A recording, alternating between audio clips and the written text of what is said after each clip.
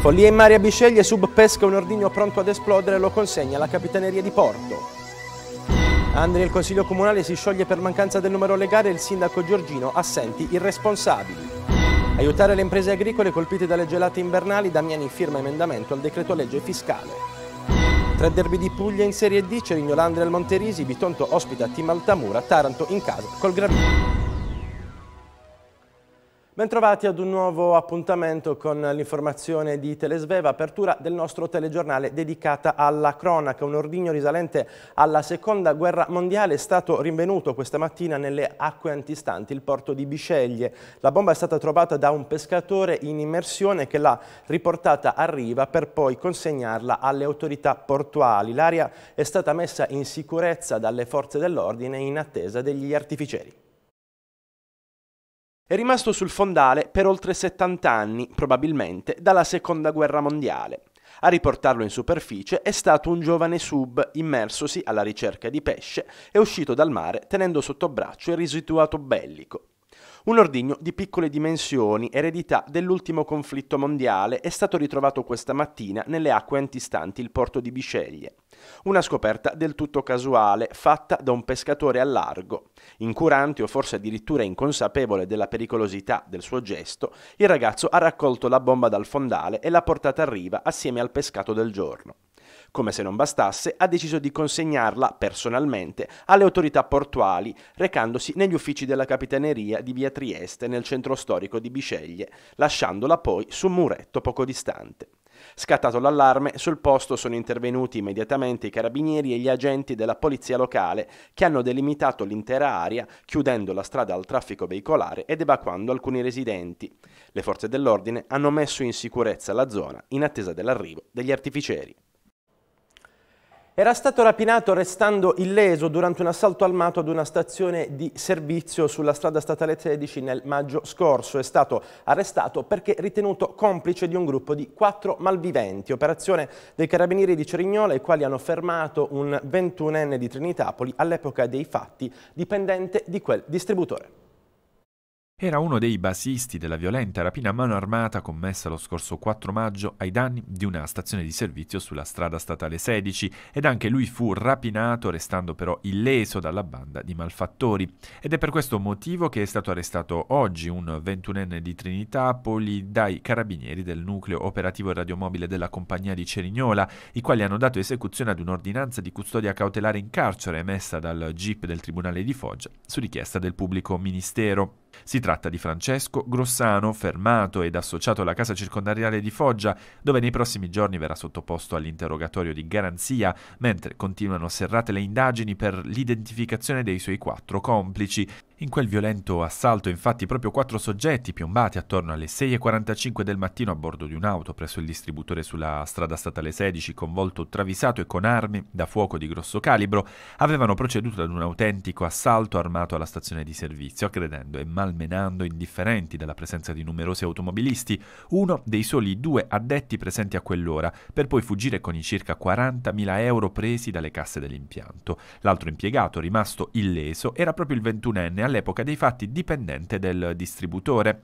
Le indagini immediatamente avviate dai carabinieri al termine di un lungo lavoro condotto anche con l'ausilio di numerose attività tecniche, hanno dopo pochi mesi permesso di smascherare l'uomo che, fattosi inizialmente passare per vittima, aveva invece attivamente partecipato all'azione delittuosa come insospettabile basista. Il ventunenne inoltre nelle concitate fasi della rapina non aveva tenuto conto del fatto che tutti i movimenti suoi e dei complici erano inesorabilmente registrati dalle telecamere del sistema di videosorveglianza che sono anch'esse risultate preziose per smascherarlo. Le dichiarazioni che aveva rilasciato i carabinieri di Cerignola infatti non solo non avevano trovato riscontro nella loro visione, ma avevano fin da subito indirizzato gli investigatori a sospettare proprio di lui, che peraltro con un pretesto si era fatto anche dare dal collega più anziano le chiavi della cassaforte poco prima dell'arrivo dei suoi complici. Nuova scossa di terremoto ieri pomeriggio in Puglia, avvertite in quasi tutta la regione. L'epicentro è stato ad Altamura, città dove le vibrazioni si sono sentite maggiormente, provocando attimi di paura ed angoscia tra i residenti, ma fortunatamente nessun danno o ferito in via precauzionale. Scuole ed edifici comunali sono rimasti chiusi anche oggi. Ai più anziani sarà raffiorato alla mente il terribile terremoto del 1980, quando la terra vibrò in Campania, Basilicata e Puglia, devastando interi paesi e provocando quasi 3.000 morti. La scossa che ieri pomeriggio alle 13.45 ha fatto tremare Altamura è durata molto meno, ma ha provocato allo stesso modo lunghi ed interminabili attimi di paura tra i residenti della città murgiana. Quando le case hanno cominciato a vibrare, i mobili a spostarsi ed i lampadari ad oscillare, Dopo un boato sentito distintamente in tutto il centro abitato, in tanti si sono riversati in strada per il timore di essere travolti da crolli o improvvisi cedimenti, ma fortunatamente non si sono registrati danni o feriti, come confermato anche dal bollettino della protezione civile. Solo un paio di strutture disabitate sono state transennate per la caduta di calcinacci. La polizia locale ha cercato di tranquillizzare gli animi rispondendo alle decine di chiamate che hanno intasato i centralini. La paura di tanti tanti genitori era soprattutto per la tenuta degli edifici scolastici, in orario in cui i ragazzi stavano per concludere le lezioni o le avevano appena terminate. Per l'Istituto Nazionale di Geofisica e Vulcanologia si è trattato di un terremoto di magnitudo 3.5 a 38 km di profondità che ha avuto come epicentro la zona di Pescariello a 5 km da Altamura. La scossa, avvertita in modo evidente nei comuni delle province di Bari, Bat, Taranto e Matera, ha provocato provocato solo qualche disservizio sulla circolazione ferroviaria. Ieri pomeriggio il sindaco di Altamura, Rosa Melodia, ha emanato in via precauzionale un'ordinanza di chiusura delle scuole e di tutti gli edifici comunali, valida anche per la giornata di oggi. Tutto potrà ritornare alla normalità, riferiscono dalla polizia locale, solo una volta terminati i sopralluoghi che si stanno eseguendo in queste ore per verificare la condizione degli immobili pubblici dopo le sollecitazioni ricevute dalla scossa di terremoto. E passiamo alla politica, sciolto per mancanza del numero legale il Consiglio Comunale di Andria. Il sindaco Giorgino commenta duramente definendo gli assenti senza alcun senso di responsabilità, serietà ed autorevolezza morale. Il servizio di Roberto Straniero. Irresponsabili, questa la definizione rivolta dall'invece responsabile sindaco di Andria Nicola Giorgino nei confronti della sua maggioranza dopo che il Consiglio Comunale si è sciolto per mancanza del numero legale. Quella di ieri era la prima seduta dopo la bufera di polemiche per il risultato delle elezioni provinciali, con il centrodestra andriese che ha elargito voti a destra e a manca, persino al Partito Democratico, meno che a se stesso eleggendo infatti un solo consigliere, una defaianza attribuita alla regia occulta proprio di Giorgino. La seduta è servita solo a discutere di alcune interrogazioni, una della consigliera di Pilato per sollecitare la partecipazione a un bando regionale che scade il 29 novembre e che prevede il finanziamento per l'acquisto di attrezzature sportive. Il Consiglio ha condiviso e votato favorevolmente l'urgenza con il solo voto contrario del consigliere Andrea Barchetta di Fratelli d'Italia, a cui evidentemente dotare la città di attrezzature sportive pagate dalla Regione non interessa o ritiene faccia male alla salute. La barchetta fu affondata alle provinciali con l'esclusione dalla lista all'ultimo momento e forse quello di ieri è stato solo un infantile risentimento. Le altre tutte di Giovanni Vurchio del PD relative alla scarsa manutenzione del verde del parco di via Mattia Preti e della residenza assistenziale San Raffaele, sullo stato dei lavori di fogna e illuminazione al quartiere San Valentino e sui servizi di accoglienza a Castel del Monte. Sette in tutto le interrogazioni di Vurchio, che in pratica ha preso il posto di Benedetto Miscioscia, l'interrogatore folle ai tempi di Zaccaro, ora silente nei banchi della maggioranza. Insomma, piccoli interrogatori crescono. Si è poi affrontato l'ordine del giorno, ma mentre si discuteva del regolamento comunale per l'istituzione di aree di sosta destinate alle operazioni di cariche e scarico merci, la minoranza ha abbandonato l'Aula facendo venir meno il numero legale che mancava sin dall'inizio a causa delle assenze di Saverio Fucci, Michaela D'Avanzo e Antonio Nespoli di Forza Italia e Francesco Pollice di Andria in Movimento. Tutte assenze sulla carta più o meno giustificate, soprattutto quella di Nespoli, impegnato, come ha voluto documentare su Facebook, in una delicata missione politico-amministrativa nella vicina Bisceglie. Giorgino è comunque imbufalito scrivendo un post nel quale definisce i responsabili consiglieri che hanno deliberatamente boicottato la seduta con polemiche strumentali e assenze ingiustificate, impedendo l'approvazione di due regolamenti attesi e fondamentali per il commercio e per la città come quello sui The Horse e quello sul carico e scarico delle merci. Da parte di Forza Italia, scrive ancora Giorgino, un partito ormai in stato di putrefazione, prosegue un'azione inconcepibile volta a danneggiare non me o l'amministrazione comunale, ma la città tutta. Questa gente, conclude Giorgino, si dovrebbe dimettere e lasciare il posto a chi vuole lavorare davvero per la città. Non avete senso della responsabilità, serietà ed autorevolezza morale.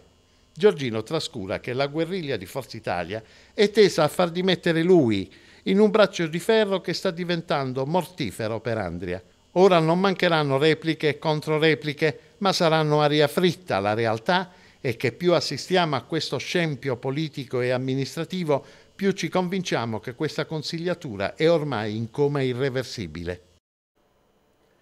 Ed è arrivata infatti la replica degli esponenti di Forza Italia di Andria alle accuse di Nicola Giorgino. Con stupore e sgomento scrivono in un comunicato apprendiamo dai social network di un attacco senza precedenti del sindaco nei confronti del forse suo partito e del gruppo consigliare di Forza Italia di Andria. Spiace e infastidisce che il sindaco nel suo post su Facebook abbia, abbia ribaltato la realtà dei fatti. A far venir meno il numero legale non è stato certamente il gruppo gruppo consigliare di Forza Italia, bensì un consigliere di una lista civica molto vicina al sindaco Giorgino. Consigliamo al sindaco un bagno di umiltà, conclude il comunicato di Forza Italia.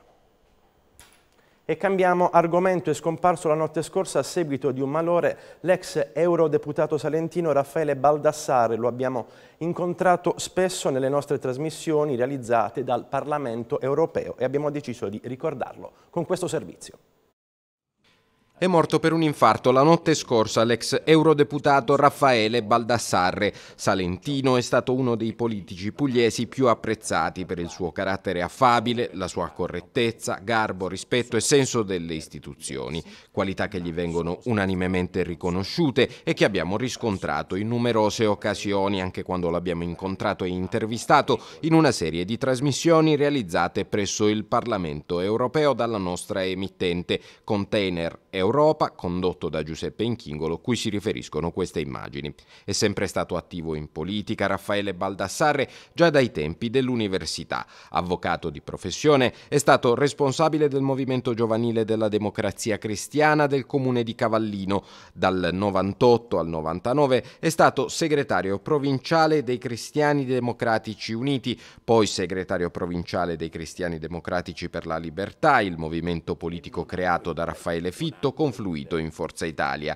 È stato consigliere regionale di maggioranza della Puglia nelle file di Forza Italia dal 2001, poi eletto all'opposizione nelle elezioni regionali del 2005. Infine è stato eletto deputato europeo per il Popolo della Libertà. È stato capo delegazione di Forza Italia al Parlamento europeo. Il suo lavoro era stato particolarmente apprezzato, ma alle successive elezioni europee era risultato primo dei non eletti eletti proprio dopo Raffaele Fitto. In quegli anni al Parlamento europeo una delle persone più vicine a Baldassarre è stato l'eurodeputato biscegliese Sergio Silvestris che abbiamo raggiunto telefonicamente questa mattina mentre si precipitava nella sala consigliare del comune di Cavallino, paese di origine di Baldassarre, dove è stata allestita la Camera Ardente. È stato per me un caro amico e come ricordavate veramente un compagno di viaggio perché partendo insieme dalla Puglia per cinque anni, avevamo anche gli uffici accanto a Bruxelles e a Strasburgo, era una frequentazione e un confronto quotidiano, un confronto sempre molto valido e molto attento. Faceva Baldassare una persona saggia, intelligente, capace, ha speso i migliori anni della sua vita e della sua attività professionale dedicandoli ad un impegno concreto per il territorio, su tanti fronti, guadagnandosi sempre la stima e l'apprezzamento di colleghi, di amici e di avversari. e ha tanto, tanto, tanto profuso impegno per la nostra regione, sia da consigliere regionale che da parlamentare europeo. È davvero una grave perdita, non per la politica, ma per la nostra comunità che ha trovato lui sempre un riferimento certo e una persona per bene. E parliamo di agricoltura, agevolazioni finanziarie per le imprese colpite dai danni provocati dalle gelate dello scorso inverno e quanto previsto dall'emendamento al decreto legge fiscale firmato dal senatore barlettano Dario Damiani che verrà discusso in Parlamento la prossima settimana.